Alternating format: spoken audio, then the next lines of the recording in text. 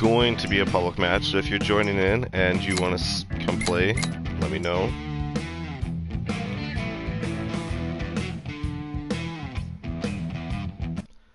Now, I've already spent a bunch of time setting up this farm, so there isn't going to be a whole lot of setting up. We're going to mainly be finishing up any field work that needs to be done today.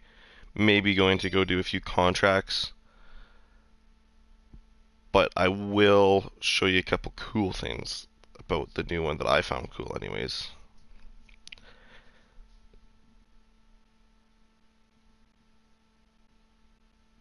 One thing I will say about playing on PS4, I have a PS4 at the moment, is it takes forever to load in and it almost seems laggy sometimes because of how good the graphics are in this game. I wish I had a PlayStation 5 to really take advantage of the upgrades that they did to the game. However, that is not in the cards right now, being as times are tough with COVID in Canada here. So.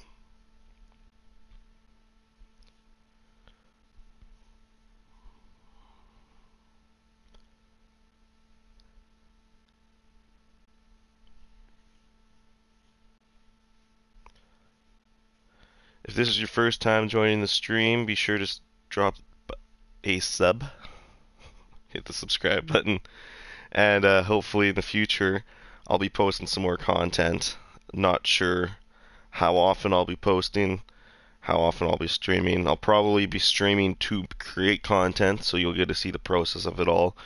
There also will be no cuts, so you'll get to see all the embarrassments, all the messed up words, all the failed clutches, all the good clutches, everything far and in between. Now, the one thing about this game, I apparently have a kitchen that I can get into here, but I can't get out of.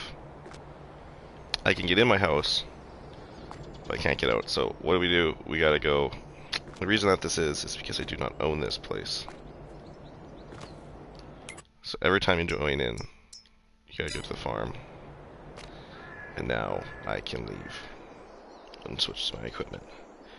Okay, so uh, what to show you first? What's the easiest way to show you? Well, let's just show you guys this first.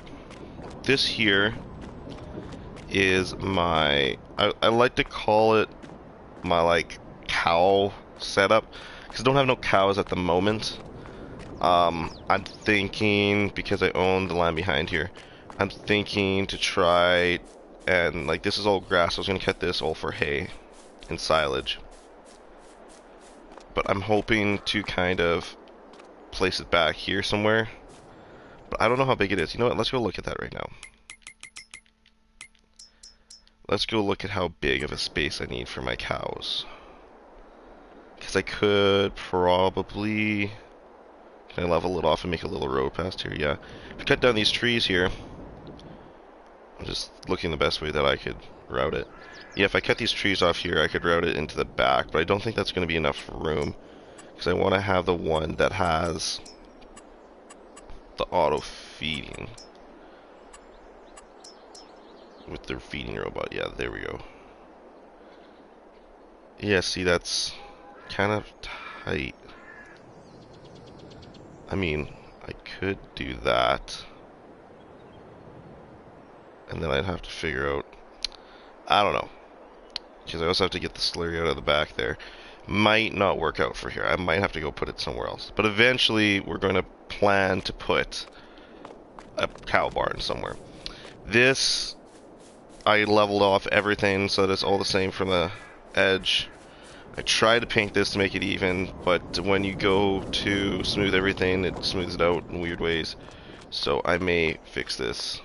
You can see how it drops off steep here because I can't smooth this no more.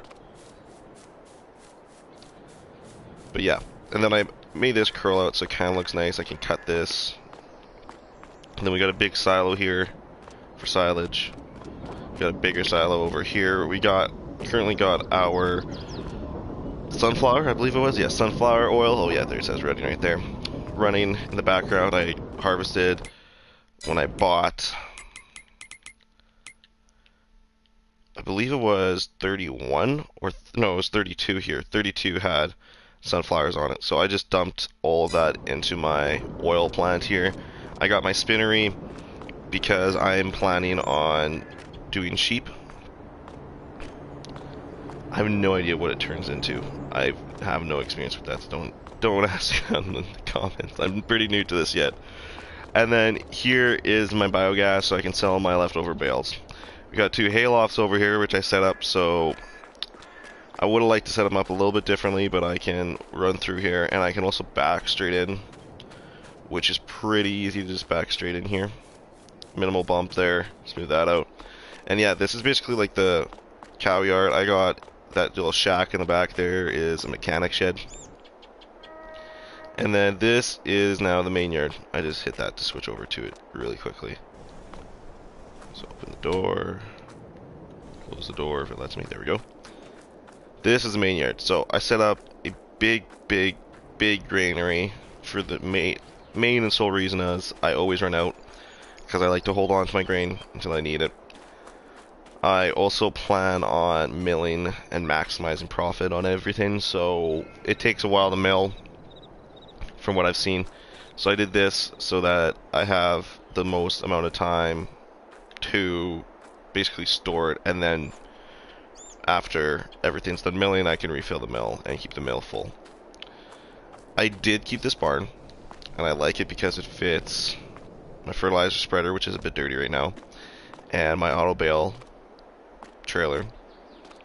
Please, Giants, allow us to have mods again. Be very nice. Then running out of room for my trailers, I put up a little shed here behind the animals. I know this is kind of all over the place. Just from what I see, I'm kind of moving over to. New more in-depth one. If you guys have more questions, I'll make a, another video or stream again and, you know, whatever needs to be done. But yeah, this is, this was for all my seed. Um, I don't have a forklift right now, and it's kind of a pain. There's a person stuck in my trailer. Uh, it's kind of a pain in the butt to uh, load these with the tractor and drive the tractor down all the time. So I'm probably just going to get the helper to refill it, and then use this up once. Like I do headlands, and then helper does rest usually. For that reason, uh, probably to work on getting a forklift in the future, to which I can just load onto the trailer and then fill the trailer up with seed and fertilizer is what I like to do. Uh, when I'm doing fertilizer spreading, I just drive the tractor down and fill it up with fertilizer there. Again, it'd be nice if I had a forklift, uh, but being I'm the only person, usually use a helper. Uh, if I have a second person in like my lobby with me, that would be awesome because then I can have someone load the trailer and we never have to stop the equipment. Because I have it set to three days, and I do find that some days I am working pretty late actually, just because there's a lot to do with one person. But here we have my makeshift header trailer. So in the game, this is a 40 foot header, I do believe, or 40 or 50, I forget. Yeah, it's a 50. It's a 50 right there. Um, HD Draper F. F stands for flex. So this is a flex header, Draper belt style instead of an auger. It has the canola, well, we call them the canola. I use them. I call them canola teeth. Pickup teeth instead of bat reel bat reel would just be flaps, essentially. And this is, yeah, this is the header that we have for the X9, which surprisingly came on sale half price in the store, so did my tractor when I got it. But this is the header that we use when we are harvesting. Um, couldn't find a header trailer for it, so I ended up having to buy a little boy. And the nice thing about Farming Sim 22 now is you can strap everything down. So all these tension belts they actually hold this thing on there really good. You can see it's a little crooked because I've hit it once or twice moving it, but then we have our forage trailer for animals, which still have yet to be fed. We're going to hopefully harvest that. And our cultivator, which only time I plan on using this cultivator is if there's two people in here, because I have in the shed here this 8RX which can pull the cultivator. However, cannot pull my massive speed tiller. And I use a speed tiller for field prep usually. And we use the 9R for that. Uh, we also have the 9R on our corn planter at the moment. It's a little overkill, uh, way overpowered. But this I just did repairs on. And this tract, oh, not that tractor. This tractor is currently sitting in the shop because it needs a lot of repairs. I, it's like 30,000. Oh, it was 30,000. It's 18 now. I forgot that I did some before I did a bunch of other work with it. But yeah, it needs repairs right now, so that's why it's sitting in the shop here. Oh, we also got our plow here. That's probably why that tractor needs repairs, because I've been running the plow with that. And the plow requires quite a bit of work. I think it maxes it out, actually. Yeah, it maxes it out, because it's... Well, no. I think I got a 420. forget how big that tractor is. Yeah, it's 450. Sorry, so it's not maxing it out by any means. Um, but just so you see what I mean by it's aggressively under overpowered. This is 340 horse. These are my two smaller tractors here, 175 and 300. Um, I bought the 6250 as my Animal tractor, and then I just bought this 7810 because I wanted a smaller tractor that I could push snow with, and it seemed like I wanted an older tractor that you would typically use in the winter. That's why I don't have like a small tractor per se. I just have medium tractors. It also makes it nice for moving stuff. It has a little bit more weight to it, but yeah, I need 350 horsepower for that planter, and I have 670 on it right now. But when you go and look at my disc harrows here, the speed tiller, uh, it needs 550. So I'm not overpowering it too much with this tractor. I this again, this tractor came on sale in the store for 60% off, and, I, and it cost me like forty thousand dollars in repairs. So it still wasn't that bad of a deal, but yeah, as you can see, it only had eight hours on it when I got it. So we've been putting quite a few hours on everything. Then we have our truck here, just the old Mack. Our trailer, this is what I been using to just move around grain because it dumps out the back and it's easier to get into those uh, sell points where super bees aren't necessary for I do have a set of super bees that I use for hauling at harvest or will be using to haul at harvest. They're over there. Originally bought that 8RX as a grain cart tractor actually because I got this big old Elmer here. 2000 bushel cart. Do you believe it is and it is against the wall, but yeah. Then there got our 9RX here. Pretty cool. I really like and can appreciate how we can see inside the cabs, because this is just a combine that's worth millions of dollars. I would never get to see it in real life, but here I can see it. Look at everything. Then we got our land roller here, which is nice that they added this after the game. Got our planter here, um, I hear that Seedhawk's coming out with a mod. Well, not not Seedhawk himself, but there's going to be a Seedhawk. And as much as I don't like Seedhawk, I kind of want to have a tank and drill separate instead of this lawn thing because I I don't know. They don't have much American stuff in here. Like the the speed till, yes. The even this isn't very American in like it is it like we do use plows, but it isn't a very American design. I like how they have on my John Deere over here, for example, if I go into here and customize, I can show you. That's the motor. So they have EU here. This is how they come in this in America or Europe, sorry. Then they have the US version, and then they have the European version 3 meter. But the American version has the smaller tracks, and I want the bigger tracks. So that's what I mean. I wish that they had more modification that you can do to it so that I can do a US version. Because, like, the difference in American to the US is basically just those flag cards, or I don't know what they're called. I'm not from Europe, so, but these cards on the back there, yeah, we don't have that. That's basically the only difference that I've noticed. And, like, the placement of a few other things. But that's all that I've really noticed, so, yeah.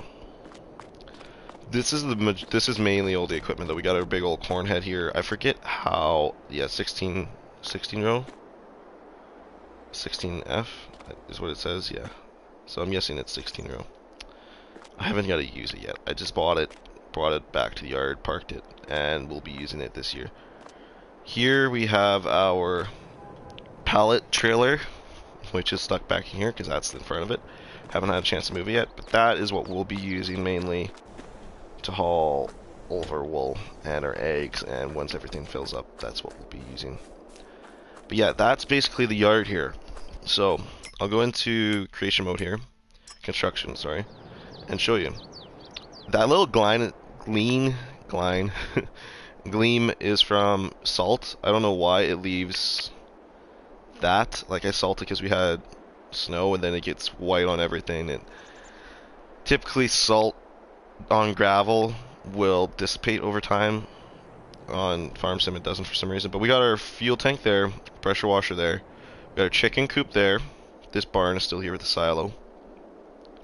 All of our sheep are here. We got our water filling stations here, which with these barns, I've learned like what are they called? Yeah, the sheep barns. You don't actually need water. They're auto watering. You just need to put your hay in the front here because I bought a water trailer and I had water trailers parked in all these.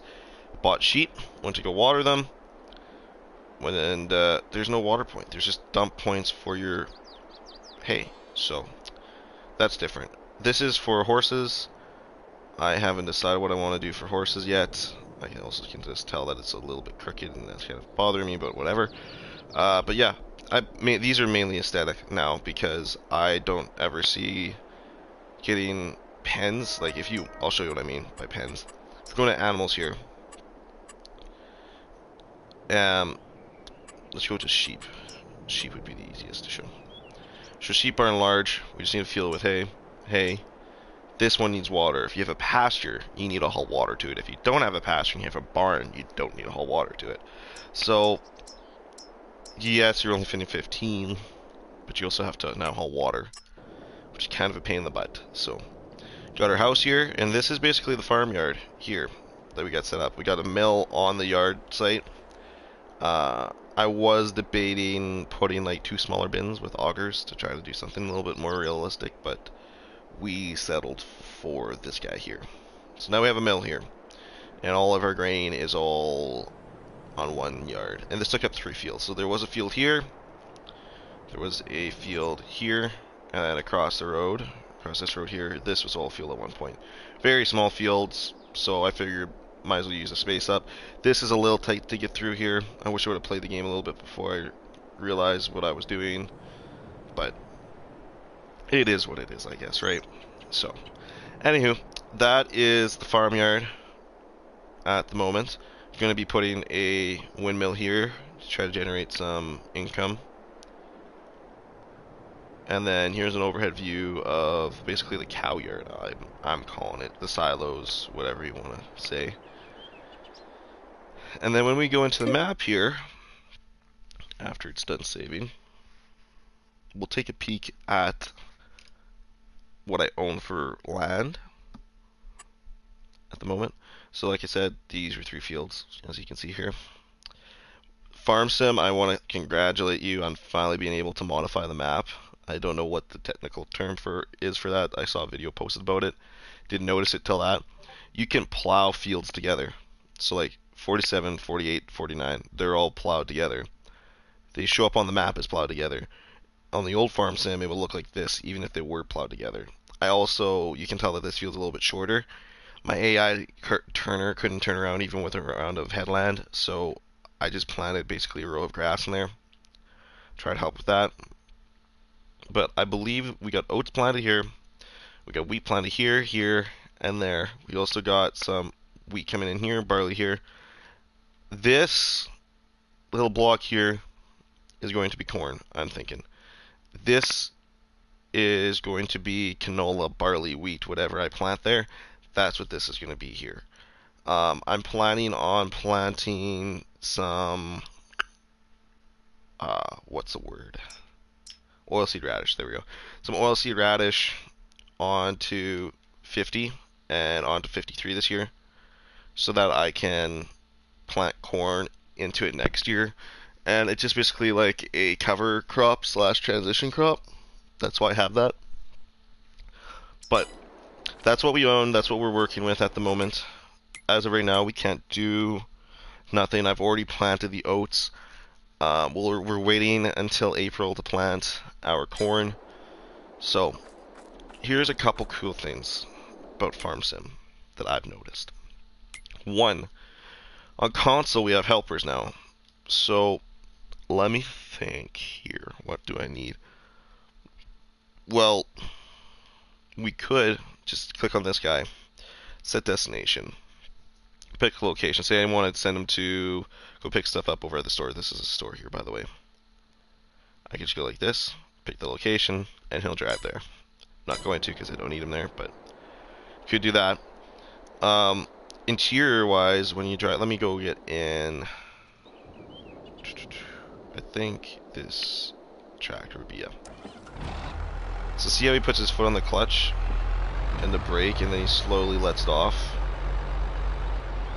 and then he puts it back on when you stop, and it holds it there. We never had that before. The pedals didn't move, so that's awesome. You can also watch. I'm just gonna make sure I'm not hitting nothing. He also shifts when you're driving in the cab through all the gears and changes what when you go to stop puts it in neutral sometimes but yeah uh, I haven't looked yeah you can also change you're working with and I'm not sure if I can actually change I've heard that you can change a rate on spreaders. I don't know if you can or not. I haven't been able to figure it out. But the dials all work on this. Like, it's just the small things that make me happy with FarmSim because this is all stuff that we've been asking for for years. And they finally did it. But yeah, this is basically just my winter slash chore tractor. It will be my second tractor when it comes to uh, the cows. Turn that off.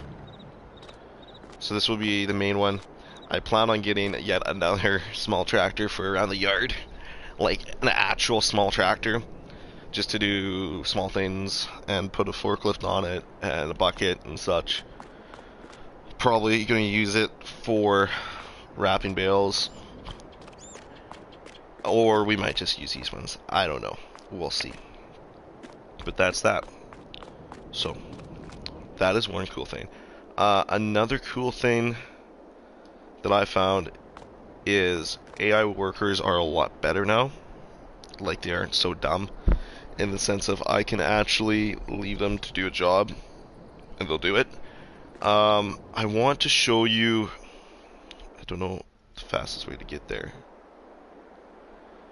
Well, we'll just try to run over there real quick. It might take us a minute. But on the north side of this field here. I was plowing it, and there were some trees in the way, so I got a mulcher. I didn't show you that, it's at the other yard. But basically, it's just a big grinder, and it grinds the trees up and gets rid of them. When you do that, it, yeah, here's our wheat. We're running through wheat right now. It gets rid of all the trees, and you can like destroy a full tree and a tree stump. So, and you can do that anywhere you want. Even if it's not your land, you won't be able to farm it, obviously, if it's not your land, but you can do it wherever you want. Here's our oats. They've been rolled. You can see there's no rocks.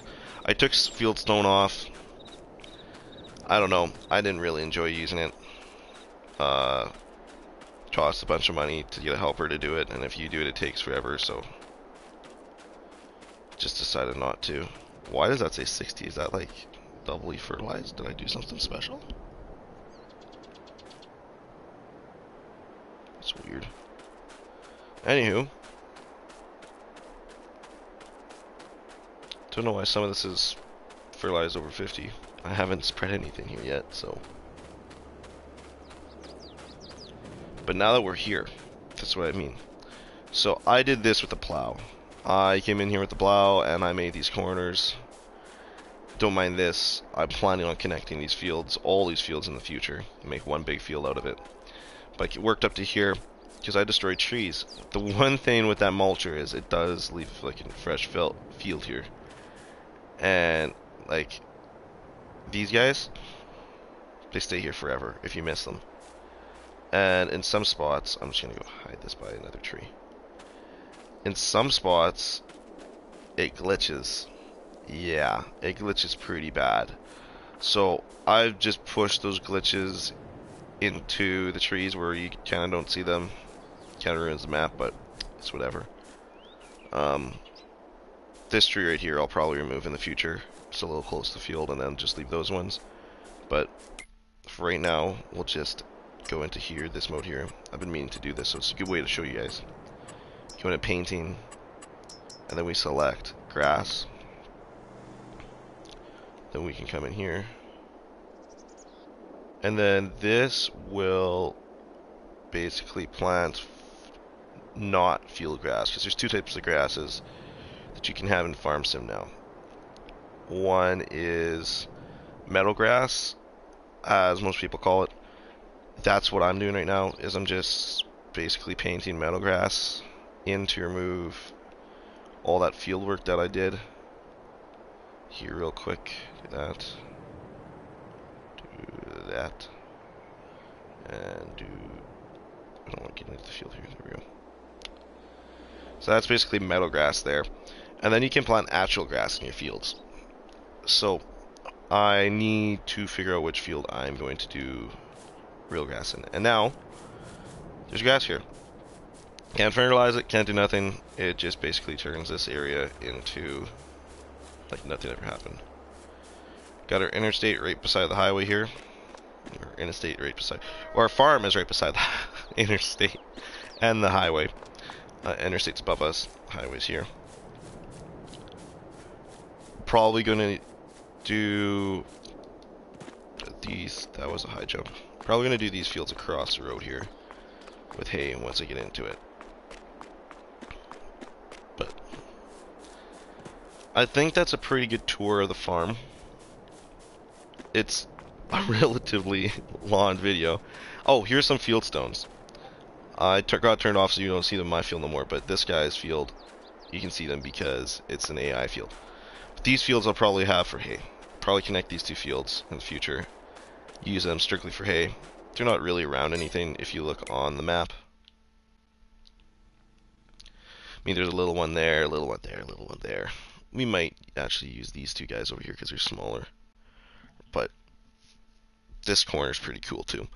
I don't know. I haven't seen the whole map. I kind of want to get over to this corner because it looks pretty sweet from what I've seen in YouTube videos. Um, I know it sounds like a nerd saying that, but I have watched a few videos on it. I have no idea what sell point this is. Oh, we're on workers, that's why. Farmers market, that's where the farmers market is. So that this actually is in pretty good condition for starters. I'd recommend doing this if you're just starting off and you want to start from scratch.